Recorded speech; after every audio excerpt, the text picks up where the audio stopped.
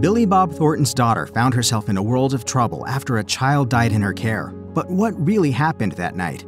Amanda Brumfield, the estranged daughter of Academy Award winning screenwriter and actor Billy Bob Thornton, sat in an Orange County, Florida courtroom waiting to hear the jury's verdict. It was May 2011, and she was on trial for first degree murder, aggravated child abuse, and aggravated manslaughter of a child. The girl, a one year old named Olivia Garcia, was Brumfield's goddaughter and the child of her former best friend, Heather Murphy. On the night of Olivia's death, Murphy put Olivia into a playpen at Brumfield's Florida home around 11 p.m. Brumfield, who was 29 at the time, later said that Olivia tried to crawl out of her playpen and fell, landing on her head. After the toddler's fall, Brumfield reportedly didn't see any injuries on Olivia. She gave her a snack, painted her nails, and lay on the couch with her until 2 a.m. Later, when she realized Olivia was unconscious, she attempted to perform CPR on the child. Brumfield's husband called 911 when he got home a little while later. Olivia died at a nearby hospital about 45 minutes after Brumfield first noticed she was unconscious. Police and prosecutors alleged the fall couldn't have caused the severe skull fracture that killed Garcia, according to the Miami Herald.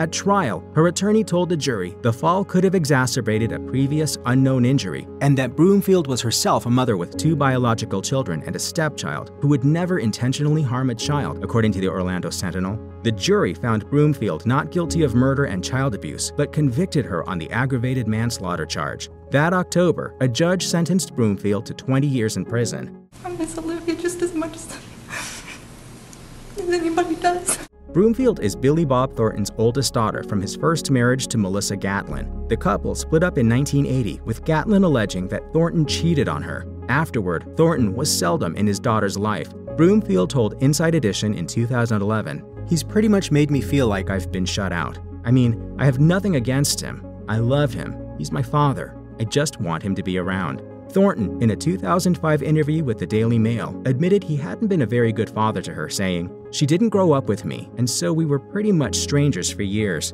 At the time of Brumfield's arrest, Thornton distanced himself from her. His publicist, Arnold Robinson, told CNN that the actor and Brumfield were estranged and that Thornton, quote, has had no contact with her for quite some time. Thornton, according to his rep, said, Anytime a baby's life is lost is an unimaginable tragedy, and my heart goes out to the baby's family and loved ones.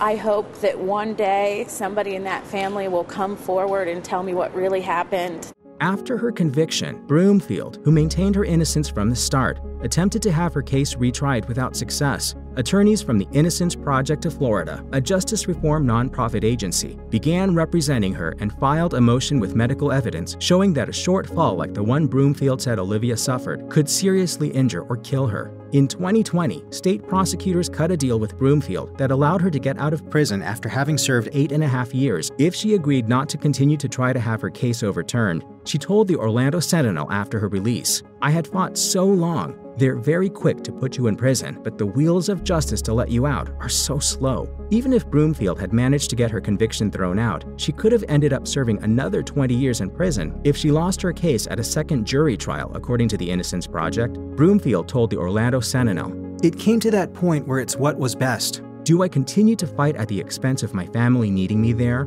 Or do I do what's best for my family and go home and be there for them?